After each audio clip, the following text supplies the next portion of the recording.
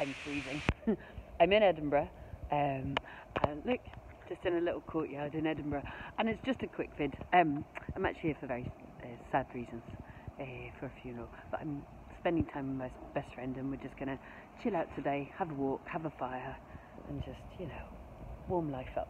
But in the meantime, um, he's not very well, so I've been doing a few emails, and uh, um, I'm drawing down a mortgage tomorrow.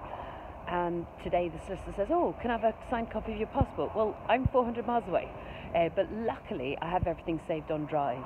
Now we happen to use Google Drive. You guys might want to use Dropbox or any other cloud possibility.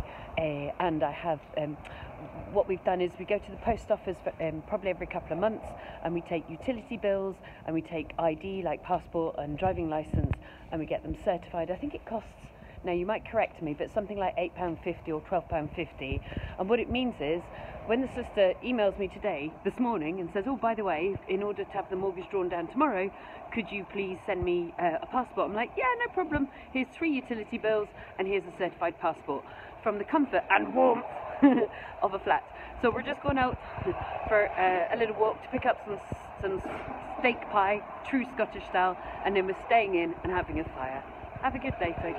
Um, but use your Drive or your cloud-based solution to save your ID uh, docs in a very safe way so that um, these last-minute tiny requests don't become, oh my lord, how do I get make that happen when I'm 400 miles away? Bye.